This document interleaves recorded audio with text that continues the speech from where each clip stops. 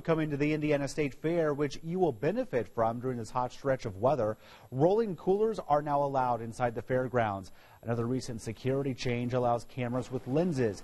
Fairgoers seem to like these newly relaxed rules, especially when it comes to those coolers.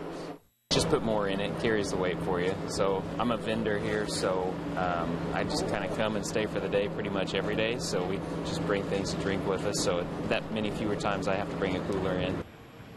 Organizers have also set up misting fans to help keep people cool. The fair runs through the next two weeks, and we have a complete list about the events and the safety requirements and what is banned, all available to you on WTHR.com.